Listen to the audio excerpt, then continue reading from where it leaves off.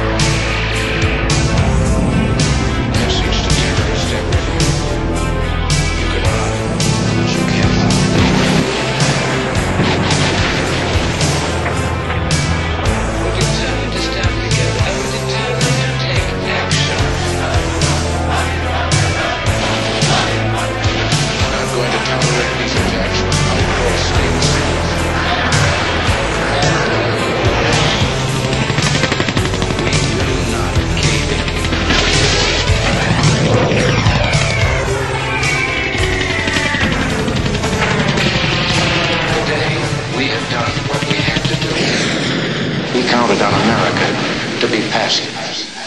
He counted wrong.